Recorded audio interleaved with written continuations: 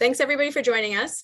Um, partnerships are the relationship and glue that can help all companies become su successful, regardless of what type they are. No company's their own island and um, they can't do it alone. It's not efficient, it's not cost conscious, and, and honestly, I imagine it's quite boring. So partnerships are the lever in which we can move mountains with a joint effort. I'm Marissa Fayer, the CEO of Her Health EQ, and I'm honored to moderate this episode of Her Talks.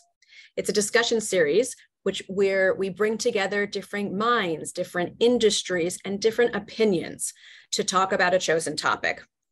The, the discussion that we're focused on this month and this quarter is nonprofits and for-profit company partnerships and how partnerships such as these can have um, can, can really help your business.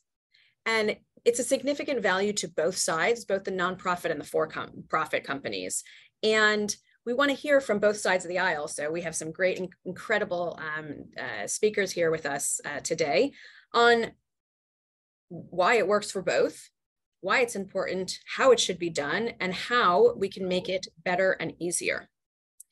This is a discussion that's really important to Her Health EQ's mission to providing healthcare equipment to developing countries with a focus on women's health, uh, non-communicable diseases because all these diseases can be detected, prevented, and treated with equipment if only they had it. And we do our work by partnering with others. For us, partnerships is a key value of who we are as an organization. Um, we're deployed in nine countries, and we clearly could not do that without partners. So I'm humbled and honored to be joined by these incredible panelists, and I'm going to let them do their introductions of themselves. And we're just gonna do quick intros and then we're gonna jump into the discussion. So um, I, I, see you closest on my screen. Um, so Caryl, um, Caryl Stern is the Executive Director of the Walton Family Foundation. Do you wanna do a quick intro? And then we can go to Bonnie sure. and then Keren. Sure. First of all, hi, everybody. Thank you for being with us today. I am Caryl Stern, the Executive Director of the Walton Family Foundation after about 43 years of nonprofit and for-profit experience, mostly nonprofit and most recently as the executive director of UNICEF USA for 14 years before I joined the Waltons. Great. Bonnie? Okay, so great to be here, Bonnie Gordon, and um, I was lucky enough to be with Walgreens uh, in cause marketing for almost 20 years. Um, which was fantastic. Uh, then uh, the executive director of Susan G. Komen Chicago for a couple of years, and now very lucky to be with Vitamin Angels, um, which is an incredible organization that help women and children in 65 countries and all 50 states and uh, in Puerto Rico. So just humbled to be here with my wonderful um, co-panelists here. Thank you. Keren? Hi, nice to be here with all of you. Uh, I'm Keren Kay. I'm heading strategic partnerships for JVP. JVP is a VC uh, with a very unique model. We are also uh, busy in building communities around tech. Um, so, so we are VC with the social, uh, with the social uh, also activity. So I think it will be interesting to hear everything today. Thank you. Great. And it, at any time, if there's anybody in the audience that has any questions, um, feel free to write them in the chat and we'll try to answer them um, uh, shortly. So in our pre-chat discussion, there was a lot of similar, similar themes that came up between all of us and what we're working on and what we're passionate about. Um, obviously, it's partnering for, for a better society. So that's why we brought these experts together. Um, I haven't seen a single company do it alone. And even if they're not announced relationships and they're informal relationships, they're still partnerships. So in order for nonprofits and for-profits to work together, there needs to be alignment on the work and the mission and the purpose. Um, and that's that, those are some obvious themes. And both sides can really benefit to, to these types of relationships. Um, there's obviously nuances between all of them. And um, but everyone that joins into a partnership, typically with a nonprofit, wants the best outcome. So, so let us just kind of dive in. And, and Bonnie, in our pre-discussion, you were talking about um, and mentioning the, the the few key elements that are necessary for any type of partnership. Can you can you kind of go through them briefly for us and for the audience? Sure. Um, and again, everybody defines a partnership differently, but really, a successful partnership is like a marriage. And there's lots of things that that make it be able to withstand the test of time. I think that there's three key components. Um, one would be, and I call it authenticity, and this is something I talk about all the time. It's got to be a strategic match for both the nonprofit and the for profit. It's not just about um, making money for the NGO. It's really about what the partnership can do um, for for all involved, um, whether that's differentiation, community support, et cetera. So I think authenticity and making sure that that can withstand um, scrutiny is very very important. The second being that commitment, and I look at commitment as internal buy-in, and so um, being from the top, uh, you know, the the bottom up, the top down um, but making sure that there is buy in to this partnership so that um, it is, and it is a unique commitment, a unique partnership, so that it's not just a an offering, if you will, a pull down menu to say, okay, for profit, here's what we have to offer for you, and then keep talking. It's about a commitment that's unique, that is um, something that stands out that also will help both, but also, again, very ownable. And I think that that's important. Um, the third part of it is something that I think both have to think about and have buy in, and that is success metrics. So that when both look, especially the for profit, looks at is this successful? Has this met our needs? Are we going to re up it? Are we going to, uh, you know, provide the resources? It allows the evaluation of the partnership to be done beforehand, not necessarily afterwards as you're looking at it. And that also allows the partnership to grow and everyone to learn um, from what's been done and what will be done. That's really great, Bonnie. Thank you. Um, it, it's I, have already taken a whole host of notes, so thanks. Um, and to dovetail onto that, Caryl, you were mentioning in our pre-chat, you know, one really very key mindset and alignment shift that that you've started to take on at the Walton Family Foundation, um, and, and you mentioned a common ground versus common solutions. And I just would love to hear because that dovetails onto some of the things that that Bonnie was saying. Can you tell us more about it? Like why you made the shift, why how it's changed your your partnership model? Because I think that would be really interesting for some of us to understand. And Bonnie, I took notes also, so thanks. Um, you know, I would add just a couple of points to what you said, and, and then I'll answer your question, Marissa. I think also it's really important, like an element to the success is clarity not only on what you want to accomplish, but how you want to. And oftentimes we talk about the what and we don't talk about the how. And I think if you don't have the pre-talk on how, then then your partnership has troubles down the line. So that would be the only thing I would I would really add. Um, you know, we have been talking about partnership at the foundation for a very long time, recognizing that we do granting at a level where we could go it alone we recognize that the problems that society faces today are huge, and none of us have a singular answer. And that if we don't intersect the sectors, the nonprofit sector, the corporate sector, and the government sector, I want to bring the third one in also, we're we're leaving, you know, ideas on the table. We're leaving opportunities to bring something to life that can be sustained on the table. So when we saw that coming out of COVID, you know, we saw that the best solutions were ones where the sectors intersected. But we also recognize that the way we've defined partnership as collaboration in this nation has been let's find the people with whom we have common ground and let's bring them together and work together on this common ground. And what it has done is instead of finding solutions, we have really driven wedges between those we have common ground with and those we don't. So we've inverted that and said instead of finding common ground, let's agree to the problems we're trying to solve. Let's look for common solutions that may not require common ground. And that means sometimes having strange bedfellows. It really means with intention, putting at the table the people you do not agree with. So you're not working and working and then at the same time arguing and arguing, but instead coming together and saying, here's a problem. We want, we all agree we want our kids to have a really good education. We may not agree on what that means, but we agree we want it to be quality. So, how do we ensure that every child in the country has quality education? Let's find common solutions. And then we can come back to common ground and separate if we need to.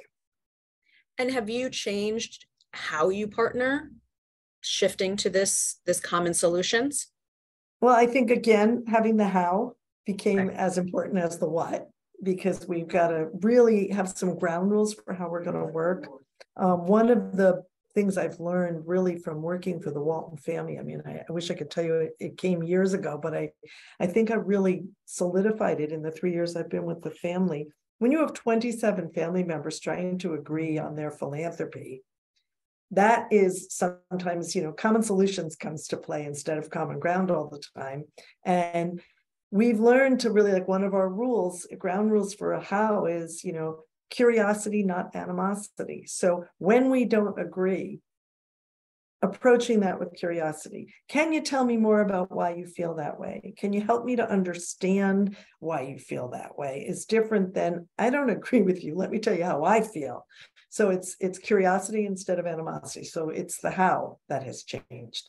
Um, making sure that there are voices at the table not assumptions made about what those voices might say. And I think that's one that we've done with great intention in the past three years, because very oftentimes we take a pejorative approach when it's when we're trying to represent groups. And that's not truly partnership or collaboration. So that's a second change that um, has definitely happened. And then it is doing the research beforehand to identify the partners with whom you may not agree and to find what you could work together to solve. So much of this is about trust. And when you work together on a common solution, you develop the trust that enables you to get through that which you don't have common ground. That's fair, completely.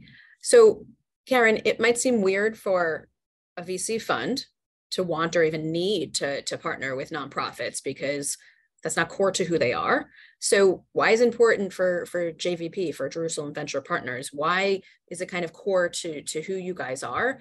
And eh, you know, is this something that also maybe other VCs should look at as opposed, you know, in instead of just here, here's some money, like you you guys partner with them and work with them. Um, is that like why why is that important to you? So first of all, I'll go back to the word authenticity. Uh, it needs it needs to be really like rooted in the DNA of the company. So uh, JVP was founded by Erel Margalit, uh, and he's uh, a, like a, his social uh, activities were always as important for him as uh, the for-profit. So the authenticity is there. I'll go back again to uh, my uh, my panelists, uh, and I agree that a partnership is like marriage, and I think that involving governments uh, is important, but stability and long-term relationships are maybe even more important. And you know, administrations come and go, but if you're like in the private sector, when you know that you know you're here to stay then you can really exhaust, you know, make the most out of partnerships and really walk together uh, long term and and make things happen. Things happen because it's always hard. It's always it always takes time. So for us, we're here to stay, and that's the reason that we also invest our time and resources in nonprofits. I want to say that as a as the person who's heading the strategic partnerships, I have like a, a banner over my laptop uh, in my office saying, uh, "Good ideas need friends, and new ideas need friends." And I think that's it's coming from a humble point of view because we don't know everything. We're in the business of building strong companies, not in the business of lending money to entrepreneurs. And when you build, when you build companies, and you need to build communities. And you need to really understand you know what those communities really mm-hmm. need and what do they want and how can we work together. And you know it, it's the days where businesses were on this podium most important you know we are everything our way you know in the past.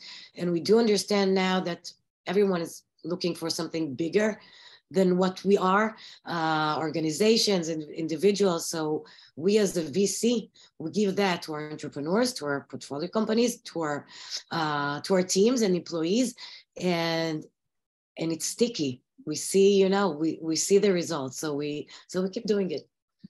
And listen, you're a you're a venture fund. You're not an impact fund, so you know it's not necessarily you know 100 percent like it, you know you don't have to to hit your mission. Do you also trickle down the idea of nonprofit for-profit partners um, to your portfolio companies? I mean i'm sure it's a i'm sure it's a strong suggestion um, as an investor but I, I mean is this something that you look for as well? Not only something that we look for it's something that we help them with. As we help them with marketing and and you know finding clients and and expanding to new markets. We also help them finding, you know, their meaningful place or where, where they can contribute.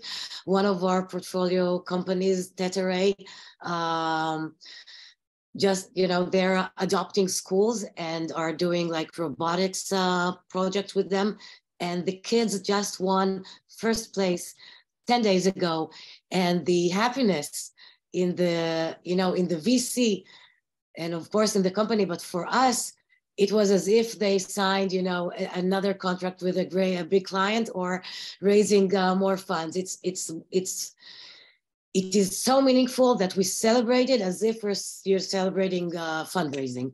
Uh, so we definitely encourage our companies, and we see that happening, and we see what it's doing. Again, we do it for the good it does, but the side effects are so marvelous. The side effects for the companies you know uh, employee retention and and those young people and we're so happy to see that that they're looking for more. And and yeah and we engage with them and they are happy to help. And the fact that we encourage them to take time off and to not attend a zoom meeting in the afternoon but going to the school and the, and the fact that not only we accept it but encourage it is something that we see uh, we see we see the fruits of it uh, in our in our portfolio companies and our teams for sure. Wow. And i think wow. you just but one of the things i think for the nonprofit side is that we have to also recognize that you are in business to make a profit and that there's nothing wrong with making a profit. And that we shouldn't be bringing you ideas for partnerships that aren't going to be positive to the business as well like you shouldn't have to apologize for that. And, right. and I think many nonprofits have approached it without that understanding. Right. I couldn't agree more with you. I tell you, Caryl, um, that company, that for profit company, making a dollar and being successful is, extremely important. Um, the Vitamin Angels Walgreens partnership, which is going on 10 years now, which is amazing, is built on this 1% of every single vitamin purchase, right? That is made in every single Walgreens store. While that's helping your family stay healthy, it is also helping a, a woman and child across the globe or even across your next to your neighborhood. So for Walgreens to have a differentiation that they can speak of, right? Because you can buy that vitamin at another drugstore or at another big box, but to buy it at Walgreens really does make it so that yes, it's profitable, but yes, it's also making a difference. Um, so that hit me what you just said. But the other thing about these partnerships is the ability to pivot. So things change. Look at COVID. Look what happened. And um, we actually were asked by Walgreens to increase our domestic um, impact. So in the United States, um, not giving up that international, but the domestic became even more pivotal because there was so much suffering and so much uh, health and wellness issues in right in our neighborhoods. That trust, and I, I, keep going back to what you guys have said the ability to trust and communicate was wonderful because Walgreens came to Vitamin Angels and said, How can you help? How can we do this together to be even more impactful and to turn up the heat, if you will, on that impact domestically? And, and we were able to deliver. So, again, that trust is really important in that communication, I think. And, and yeah, two things to that point, you know, that you made me think of. One was when I was still at UNICEF, we had a partnership with Pampers. And for every pack of Pampers that you bought, we donated, or that the proceeds donated, a tetanus vaccine. And I know when we were originally measures of success, you know, to Keren's point, was how many vaccines did we get into the arms of how many moms? But measures of success for Pampers also was lift how many more packs of Pampers were they going to sell? And we had to make sure that we were really good promoters of a product that was saving lives. And that's what I mean by having both sides take responsibility and, and understand that there is a business imperative here and that that's okay. Um, but on the trust factor campaign that we had a partnership with the Home Shopping Network, the first year that we did the partnership, it failed. And I was dispatched to go meet the CEO to apologize, CEO to CEO, for the million dollar partnership at that time, a long time ago, when a million dollars was really a million dollars. And it, and it just, it didn't lift their business and it didn't meet our impact agenda. And I sat down with Mindy Grossman, who was the CEO at the time. We didn't know each other. And Mindy looked me in the face and said, okay, we screwed up. How, what are we going to do next time? Not how do we cancel this now? She's now one of my closest friends as a result of that because we took off our gloves, we sat down, we said, okay, what are we going to do together? Because history can't write this as a failure. And the next campaign was phenomenally successful. And we went on to do many more together, both at her time at home shopping when she went to Weight Watchers, I mean, what she's doing now. I mean, I think trust is the key factor. Absolutely. And uh, Sorry. no, no, no. I, I think it's incredible. So you guys have said some examples uh, you know from both sides. And and so like how can nonprofits and for-profits be better partners? Because you know Caryl the fact that you had to go and almost apologize and thank god you had somebody on the other side like mindy who was saying oh well let's make this better but like that's not always how it works. And so no. like how how can both nonprofits and for profits because listen it shouldn't always be the nonprofit that has to go and apologize. It is could also be a for-profit or you know both sides have to work together to the common goal. So how can and this is for for everybody for you know for the entire panel, how can both sides be better partners to each other? I think starting with what Bonnie said, those three elements. Okay. Adding the how, agreeing, you know, I think we all agree measures of success need to be outlined and defined so that we all know what we're trying to do and we can really assess a partnership.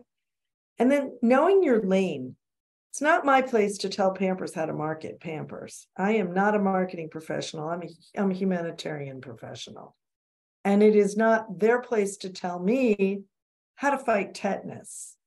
Okay, that's the humanitarian side of it. So understanding what each of your roles are I think many of the partnerships that we saw born out of COVID stretched our lanes a little, but the most successful ones were ones in which we took our expertise and applied it to our own lanes. And so, you know, when when Mary said Ford will make PPE now instead of making cars for a while, because that's what the country needs, she knew she had workers who knew how to do that. She knew she had distribution, like she was able to step in and say, here are the steps that will need to be put in place that we can do. And here's what we can't do. So here's what we're going to need. And then nonprofits were able to look at that and say, okay, we know how to do this, this, and this, and we can fill those niches. And government was able to step in and say, okay, you're going to do this and you're going to do this, and we're going to do this. And we each brought our expertise to the table you know i'll, I'll add to that um, when you look at this at these partnerships and the strength of them it is important. I kind of say if you build them they won't come. It's you promoting these partnerships and telling people about them and finding a way to amplify is is really really key. Because if someone doesn't know about it the the constituent the consumer whoever you're trying to get to and the beneficiary isn't aware of the programs and I, I say programs but i'm talking about tangible impact then that differentiation that strength of the partnership isn't as strong. So telling people about it and amplifying it in whatever ways that each can do, I think is really, really important. And the other part is this transparency piece where um, the NGO needs to say, here is our impact, here's what we're doing. And also, I believe, needs to say, and here are our pain points for profit partner. Can you help there? Because we don't have a multi-million dollar whatever it is whether it's shipping whether it's marketing whatever it is and and really putting the resources together to talk about this partnership is really important. So that ongoing communication that transparency um, and that ongoing again dialogue seems to be um, is, is extremely important i think for the strength for not not only the partnership to survive but for it to thrive and grow in the in the years ahead Great. It's interesting that you're talking about transparency from the side of the nonprofit because I'm so used to take the responsibility, you know, on myself and and be very transparent with the nonprofits that we work with, explaining exactly what is it that we want from this partnership and it's okay for other organizations like it's not our thing but for other organizations so it's all it's like okay to say we want reputation. We want a better reputation. Listen we had this. We want to we want to actually do something but we want people to acknowledge that we're doing it. So we need it for publicity. It's okay. I mean the, the agenda as long as we we're all clear on the agenda is always legit um, and I will add one word to, you know, trust and transparency and all those uh, important things. I will add um, patience. Mm, good word. I think that, you know, we're also proud of this uh, dynamic world we live in and everything's moving so fast and it can create such a frustration because, you know, a for-profit, they can go into the room, tell the employees what to do the next day, like, okay, let's see what nonprofits are, you know, is, is, is a different creature. And, and I think patience is key on both ends of the partnerships.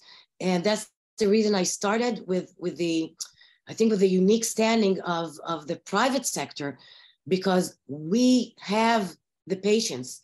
We specifically for JVP in building companies, it doesn't take a year. Sometimes it takes three, sometimes it takes seven. We have companies that we keep, you know, working with for, you know, for 10 years now. Um, so it's okay. Let's build KPIs that are, you know, that are realistic with, on, a, on, a, on a timeline that we agree on. Let's take, you know, let's breathe and, and see. And also for ROI, it's okay sometimes it takes more time than we think. It's it's what like you said about pivoting. We can pivot the the business plan. We can see that you know this route this channel wasn't as effective.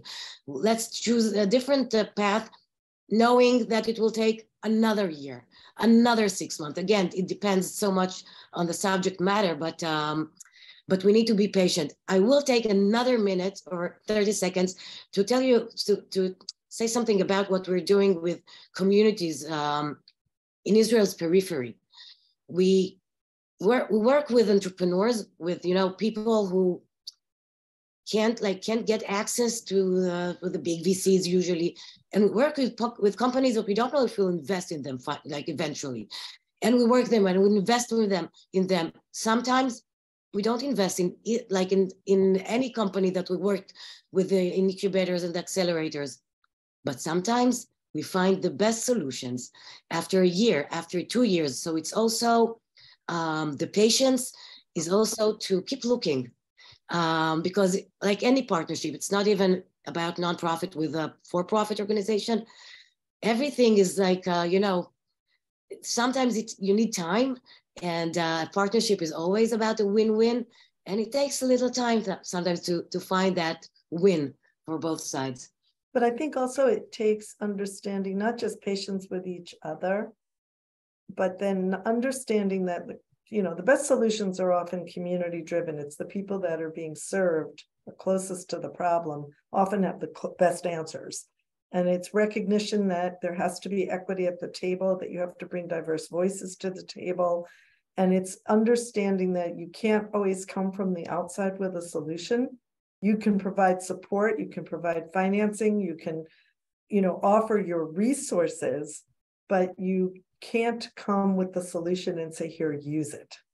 And I think that that's the piece that often gets lost you know well will so i'll use the pampers example well so great now a vaccine is available every time that pack of pampers gets distributed but that doesn't mean that every woman in the village is willing to come get the vaccine so then it's really sitting with the community and talking about why they would or wouldn't and what would make a woman feel safe if she's never had a vaccine before. And can you help us create that safety? Not coming and saying, we know better, this is good for you, come and use it.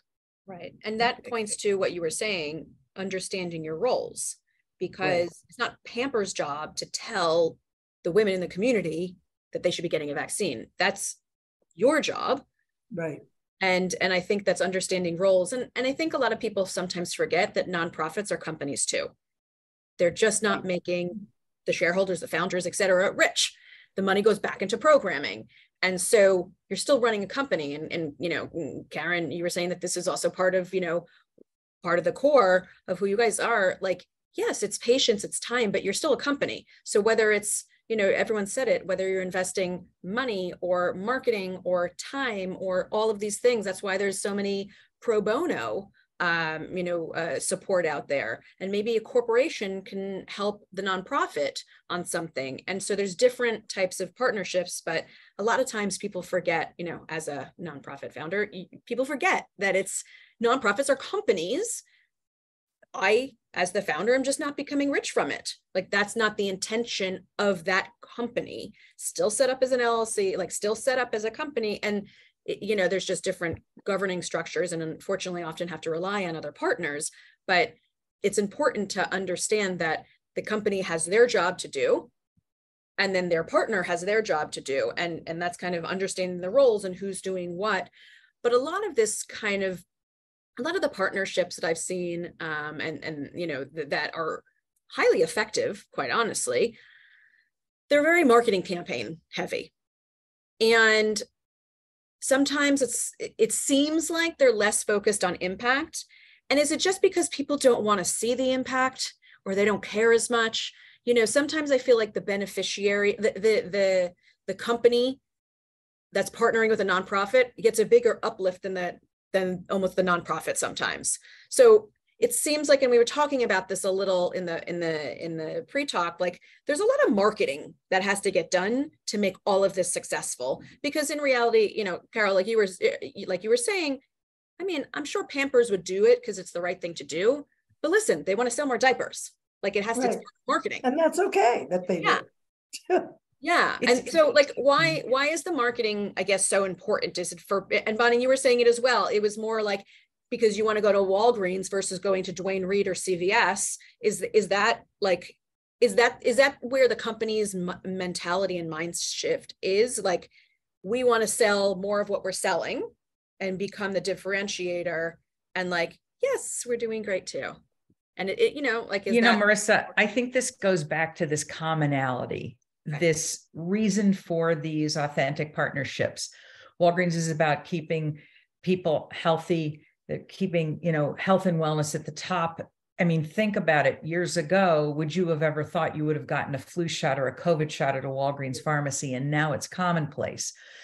But it's that trust, which is about you the pharmacist is the last free healthcare in america. Let's look at that. And it's right in everyone's neighborhood.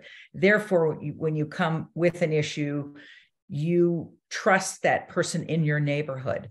That pharmacist is again that trusted person that's sitting there in your neighborhood.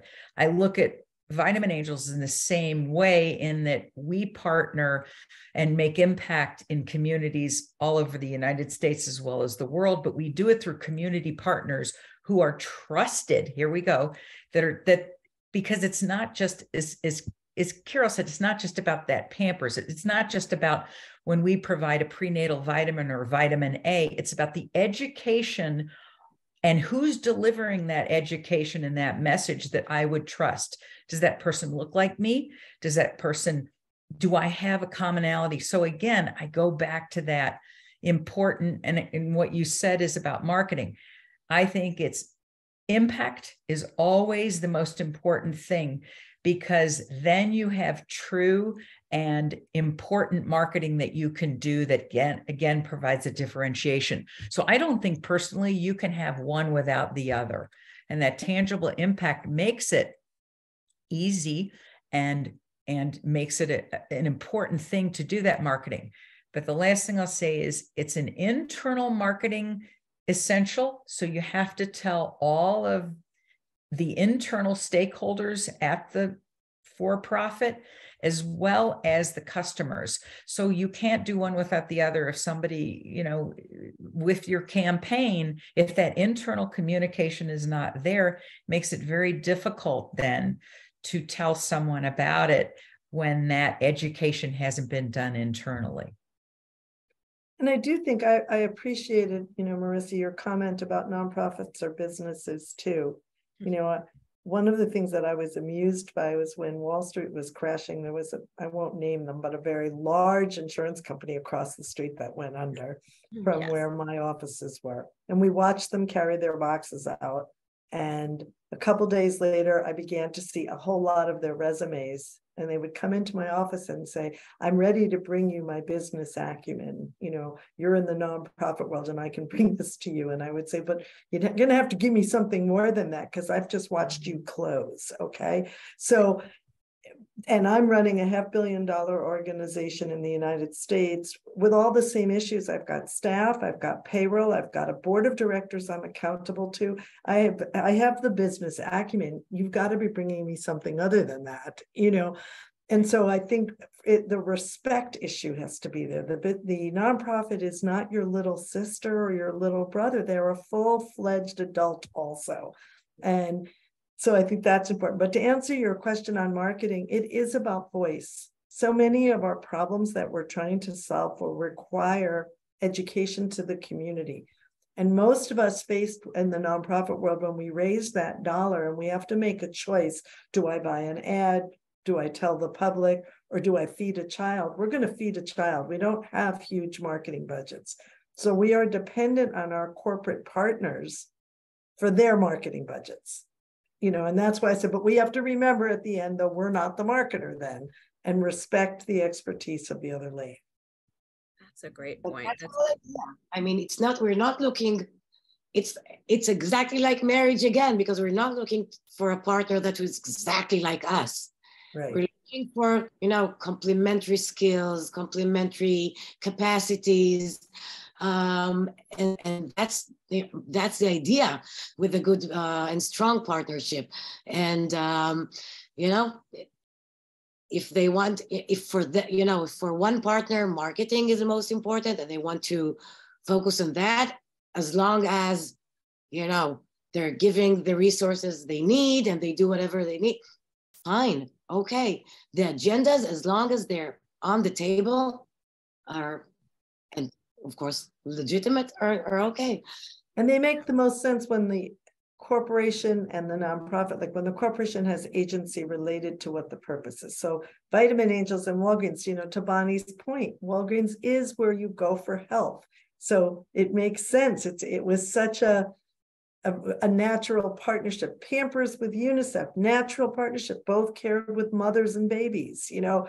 Um, when I think about the work that I'm doing now with the Walton Family Foundation along the Colorado River, where we're looking at serious drought and we're looking at how do we solve those problems, recognition that we have the ability to um, expand a voice for the tribal community that might not have the power of a microphone that we carry. So it's not always dollars. The partnership can also, as I said, is what you can bring to the table that you can share. Couldn't agree more. You know, and, and Caryl, the resources and what you said, Keren, it's resources aren't always dollars. They're resources, whether it's again, as you say, marketing, whether it's IT, whatever it is that that for profit certainly has more potentially more resources to bear for this partnership but that's that's why being transparent and saying what's keeping the nonprofit up at night um, with regard to the impact and and again what's keeping the for profit up? What are the is there a new product that needs to be um, talked about? Is there a new initiative? And being respectful that and I, I feel strongly again being on both sides of it to know that that for profit has a lot on their plate that this partnership is one very important aspect of what everyone's involved with. But also there are a whole lot of other things that are on their plate that we need to be respectful of um, and time. Everything is is you know is a resource. So we have to be i think respectful of one another when we look at what we ask and know that there comes back to patience. Know that you as a nonprofit it may be front and center but this individual or these individuals are dealing with a whole lot of other um, challenges potentially and opportunities that they're trying to solve too in their everyday you know work. Right. That's a good and, point. and also it, that we will solve some things because of the expertise we bring. You know i look at environmental issues and it takes the store saying we're not going to give you a plastic bag anymore to get the people to stop bringing expecting a plastic bag um, it takes, uh, you know, we, we very much know that the water, the, the biggest use of water in the United States is agriculture. And if we want to improve agriculture and we want to have sustainable agriculture, we're going to need the, you know, the distributors of the products to begin to demand that the creators of the products use sustainable practices, which means we're going to have to get the consumer to demand you know those kinds of practices which is a movement that takes marketing. And again so it it, it will require all of it. It will take some government regulation. It will take you know we're not, none of us can solve that alone. Totally. You know what? I agree. Yeah. And if there's any questions from the audience i just wanted to say if there's any questions from the audience please write them in. Go ahead Keren So JVP is a thematic VC. We uh, our legacy themes are fintech and cyber and food tech but we've now entered the, the climate tech uh, space because again it aligns with the values that that we bring that is that are the dna of our of our vc and when we work now um, on climate tech solutions it's the number one area that a needs a global effort. Um, and b we need to really understand what's you know what's more important because maybe renewable energy is the most important that maybe there are enough solutions around that. So we are partnering not only with the not only with the un and the edc uh, but with you know smaller more local uh, local nonprofits to hear what our community needs. And we are you know we are based in the heart of soho in new york let's see what what the what this community needs. It's an urban thing. It's not a, you know, climate tech is so vast and so such a wide subject. So we are doing a lot of work with nonprofits to really understand, like what are what are the priorities that we choose, uh, and they're always connected to the communities that we live in and to our partners.